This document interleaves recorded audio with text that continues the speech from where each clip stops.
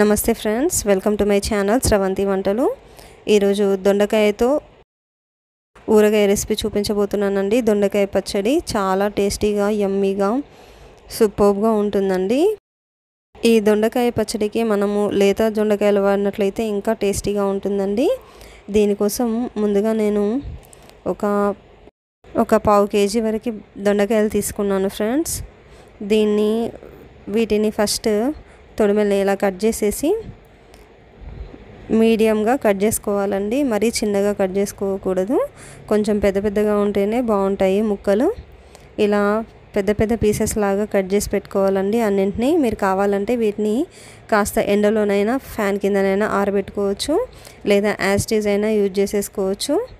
అలాగే దీనికి ముందే పోపు ప్రిపేర్ చేస్తున్నానండి. పోపు ఎలాగో చల్లరాలి కదా. దీనికోసం స్టవ్ ఆన్ చేసి ఒక ప్యాన్ పెట్టేసి ఇందులో ఒక టూ అండ్ హాఫ్ స్పూన్స్ వరకు ఆయిల్ యాడ్ చేస్తున్నానండి. పచ్చడి కదా కొంచెం ఆయిల్ ఎక్కువే పడుతుంది. ఆయిల్ హీట్ అయిన తర్వాత ఇందులో ఎండుమిర్చి యాడ్ చేస్తున్నానండి. ఒక ఫోర్ టు ఫైవ్ ఎండుమిర్చిని యాడ్ చేశాను. అలాగే ఇందులో పోపు దినుసుల్ని కూడా యాడ్ చేస్తున్నానండి. ఒక స్పూన్ వరకు ఆవాలు అలాగే ఒక స్పూన్ వరకు జీలకర్ర కూడా యాడ్ చేశానండి. అలాగే ఇందులో ఒక one to two table spoons వరకు శనగపప్పును పచ్చిశనగపప్పును కూడా యాడ్ చేశానండి. మీరు కావాలంటే మినపప్పును కూడా యాడ్ చేసుకోవచ్చు. అలాగే ఇందులో ఒక రెండు మూడు ఎల్లి వెల్లి వెల్లుల్లిని ఇలా పొట్టు తీసి వేస్తున్నానండి. ఇది వేశాక వెంటనే స్టవ్ ఆఫ్ చేయాలి. ఇవి ఎక్కువగా వేగకూడదు. తర్వాత మళ్ళీ దింపేసిన తర్వాత కూడా ఆయిల్ అనేది హీట్గా ఉంటుంది కాబట్టి అవి ఎక్కువ మాడిపోతాయి అన్నమాట సో తొందరగానే దింపేసేయాలి.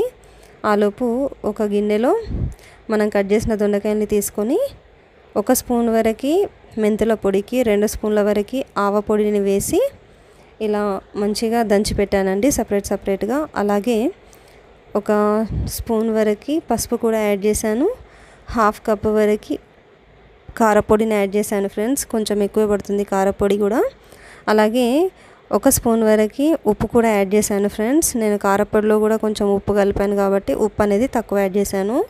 మీరు కారపొడిలో ఉప్పు లేదంటే హాఫ్ కప్పు ఉప్పు హాఫ్ కప్పు కారం కూడా యాడ్ చేసుకోవచ్చండి.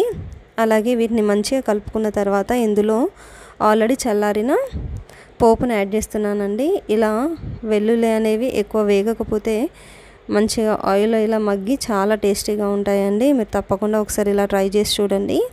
ఈ మిశ్రమాన్నింటిని మంచిగా కలుపుకొని ఇందులో హాఫ్ చెక్క వరకు నిమ్మరసాన్ని పిండుతున్నానండి.